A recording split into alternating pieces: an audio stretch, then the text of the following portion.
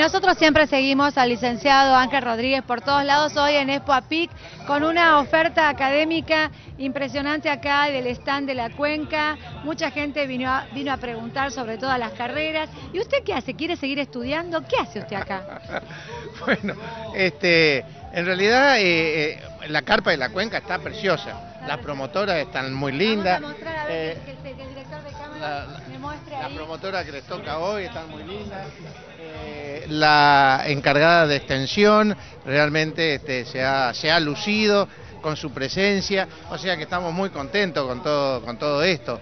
Este, es un esfuerzo muy importante que hacemos este, junto con otras empresas de Corrientes para de alguna manera mostrar a la gente que este, en Corrientes la actividad este, comercial y sobre todo la comunidad productiva es muy importante. Y no en vano estamos, ese, estamos parados aquí, porque eh, estamos, estamos mostrando el tema de la super sopa, que la super sopa es este, eh, un alimento eh, para, eh, eh, per- para eh, lugares, digamos, o para niveles de riesgo alimentario.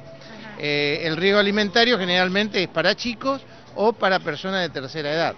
Es un concentrado este, que hay que diluir en agua, tú tienes origen Brasil y realmente este, para nosotros es un, un gusto enorme que la- lo- los chicos, los profesores de la Facultad de Ingeniería de Alimentos este, estén presentando en el día de hoy, en este marco de la Expapit, eh, eh, esta super sopa, eh, que ya ha tenido mucho interés.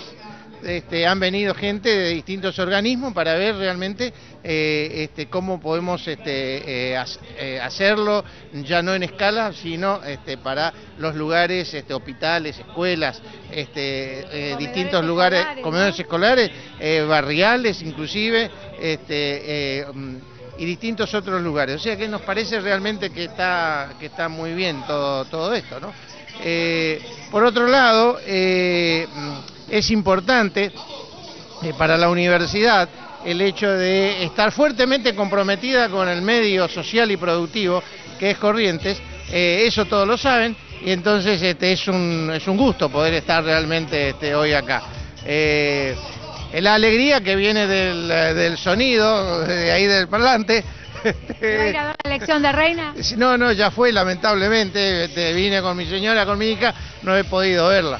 Eh, eh, lástima que no se realizó este, la serie de conferencias, que eh, por lo menos este, en el día de hoy. Es una lástima porque era un, un ambiente, un sector muy importante este, para que también la gente pueda... Pero bueno, las condiciones del lugar no hacen realmente para que uno pueda este, estar este, ir, a, ir a ese lugar. Ha costado mucho esfuerzo, el, viento, el viento, digo, el clima no nos jugó este, una, una, no, no estuvo en contra esta vuelta, pero así todo realmente este, eh, creo que tengo que felicitar a la comisión este, de APIC, este, a toda la gente que ha intervenido en la Cuenca del Plata este, por esta, este esfuerzo.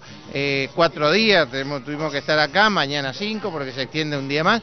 Entonces realmente este, estoy muy contento este, por el esfuerzo de todo eso. Así que en el Día de la Patria, el Bicentenario, en estos 200 años, que nos tienen que servir como reflexión, pero también para estar orgullosos, contentos y satisfechos, a pesar de que no hemos logrado todo, nunca uno logra todo lo que quiere, pero creo que es el año en donde, por lo menos en Corrientes, tiene que ser un año de despegue, sobre todo por la participación popular y el fortalecimiento de las instituciones democráticas de Corrientes que definitivamente tienen que transformarse en una dirección que eh, tiene que ser eh, con la contribución de todos los sectores. Si logramos eso, pum para arriba va Corriente en estos 200 años. Chau.